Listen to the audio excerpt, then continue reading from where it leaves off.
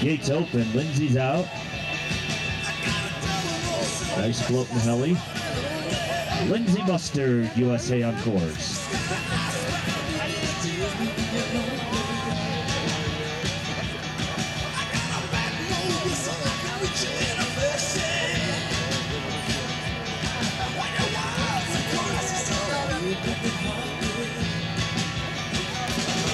Into the finish area.